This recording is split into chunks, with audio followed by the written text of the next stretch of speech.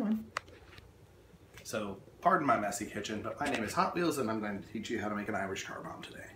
First things first, what we need is Guinness, Bailey's Irish Cream, and Jameson's Irish Whiskey. All three are Irish, so I hear that's what makes it Irish. Anyway, step one, open the Guinness.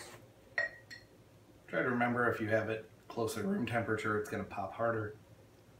Also try not to get quite so much head in the glass. What you do in your personal life is up to you. Next, Bailey's. About a half a shot.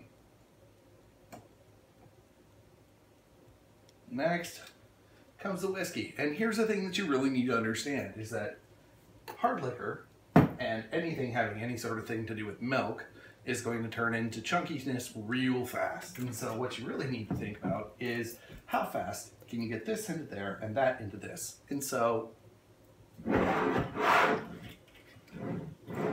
this can go from delicious to disgusting in less than 30 seconds.